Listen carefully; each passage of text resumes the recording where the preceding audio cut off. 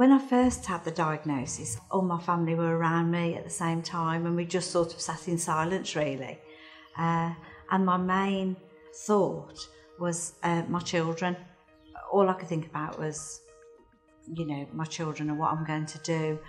I've got this disease. Um, it's, you know, am I going to die? The immediate thing was to get the cancer out of my body, really. And I actually declined reconstruction because it would have delayed my mastectomy. And I had a fast spreading uh, lobular cancer. So um, I wanted I wanted the cancer out of my body. So it was, it was surgery within a couple of weeks and then a planned schedule of chemotherapy and radiotherapy at the end. And I was quite happy to take advice from the doctors. And I had my lovely breast care nurses um, who were there at hand really to, to, to pick up the emotional, emotional side. Just being able to cope with daily life then becomes about self-preservation.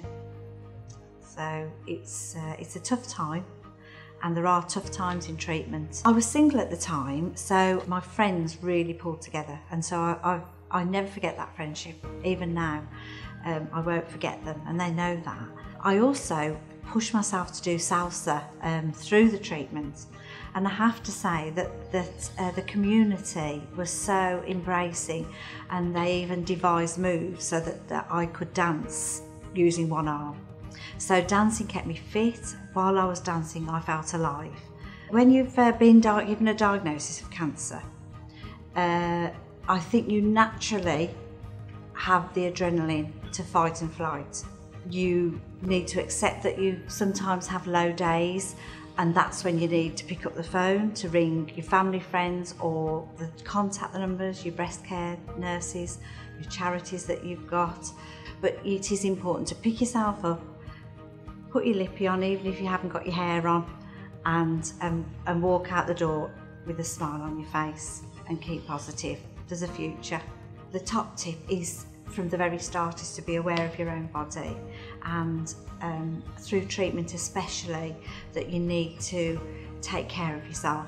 There is a, a, a short period of time when you may think, is this going to go? I felt a lump, is it going to go? I hope it does. No, it can't be and your mind is just in turmoil.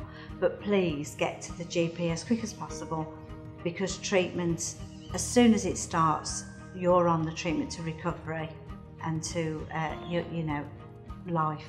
I'm cancer free for 11 years and I can't tell you how every day is special.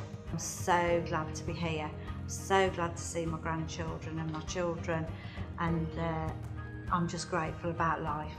I don't need lots of fancy cars or money or whatever. I just need just to live life and laugh